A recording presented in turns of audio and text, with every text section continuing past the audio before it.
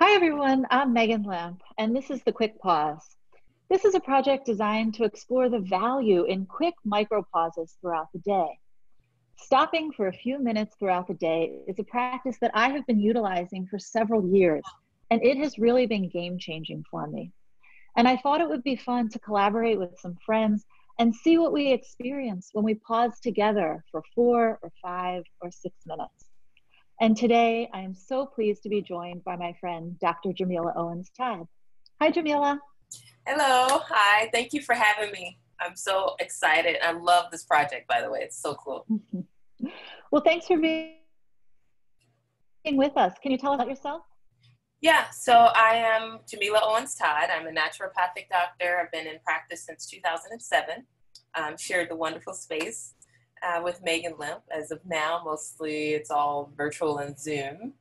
Um, I also have a tea company, a Rootberry Leaf, where it's my passion turned into a business. I love blending teas, herbal blends, and for your consumption to, to, to enjoy.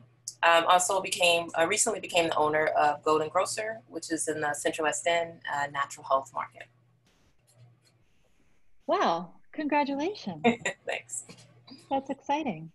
Um, I'm so pleased to be joining with you to get together, uh, not just because we haven't seen each other in a while, but because um, you have been an inspiration to me when it comes to being intentional and mindful in my life. And I am so happy to be with you today. And thank you for leading us through today's quick pause.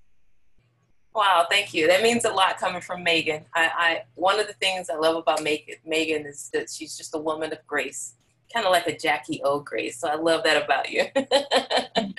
um, and you know, when you reached out to me about this, I, I, I kind of toyed around with different things. I'm like, you know, I don't do like a physical practice, so to speak. I don't necessarily do guided meditations, um, but I do like to speak to people about the root and the healing and that core existence and how that is really where healing starts. So when I think about pausing, I do think about uh, with everything that's going on, it's just being able to be in your truth. And what that means in my world is honoring your experiences um, we've had a lot of kind of upending of the world, so to speak, or it can appear that way. And we all experience that so differently. Even your closest loved ones, colleagues will give insights and tidbits on this is what can work. And that's one of the benefits of a program like this is to say, here are just some suggestions in the event you run out of ideas or you just want a little bit of a push. Um, but I, I think about your experience, and your experience is valid. It's yours, it's truthful, it's your truth. And in the age of social media and so much that's being presented to us, there are times when we are attempting to justify our truth.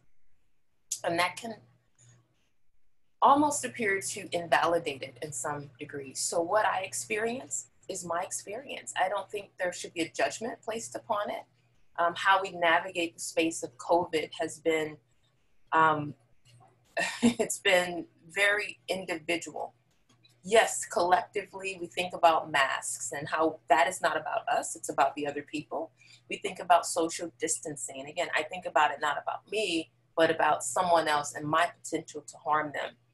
And so, if I am being told to stay home and I'm being told to not visit my very lovely sister because she's ill and she's immunocompromised, I had to think a moment and, and not take on her um, fear and assume that I should be acting in a certain way. So, really listening to her. And that made me sit in my experience and knowing that I have to deal with this in the way that I know how. No judgment of her. She made the best decision for her. And now I have to val- value her experience and what it may look like for her to be hearing all of the reports of an immunocompromised person. So even though I wanted to trot over there and give her a surprise, you know, muffins, I had to not and then be okay with that by respecting her. Uh, the world has also been upended with with recent discoveries, I'll say, of just uh, racist behavior and just uh, unjust behaviors, uh, people of color, Black people specifically. and I get calls on, you know, the guilt or, or I'm shamed and I should be protesting, I should be donating. And you never want to give out of what is a perceived need. You sometimes the mere acknowledgement is protest. The mere consideration of I have to reconsider who I am, my thoughts, my actions, my community is enough. And if you only have the wherewithal to make it to that point in this month, please honor yourself in that and be okay with it. I, I, I have a love hate relationship with social media, as, as I've talked about earlier with Maegan.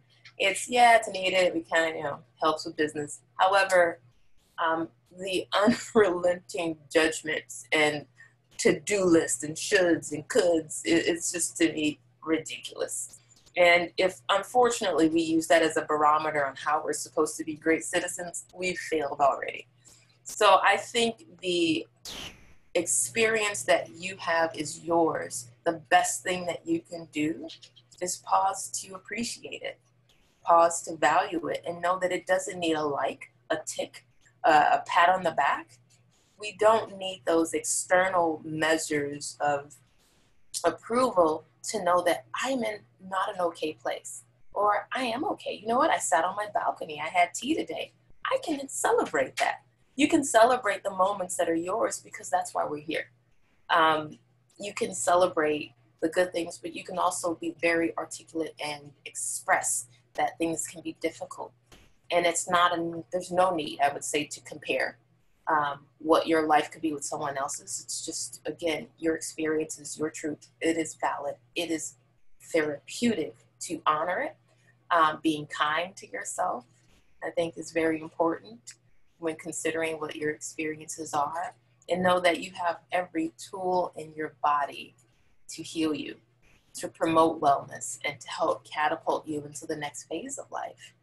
Um, I only know that because I really do try to take the time to explore it and believe it. You know, it's like you keep telling yourself, eventually you'll you'll believe it. You know, but I do I do want that for everyone. I do want for everyone just to know that I can be in my space, in my world, and be okay and not have to connect in the way that I am being told to. Um, that to me is the best medicine, the best honoring of self. Well, thank you so much. That is so beautiful. I can't, um, I feel different and um, recalibrated from what you just said. And I can't imagine something better for us to walk away with right now, today, than knowing that our experience and everybody else's experience is valid just as it is. Yeah. Absolutely. Yeah, yeah, for sure. Thank you. Thanks so much for being with us. Thank you for having me. This is fun. This is like a wild party for me. So I appreciate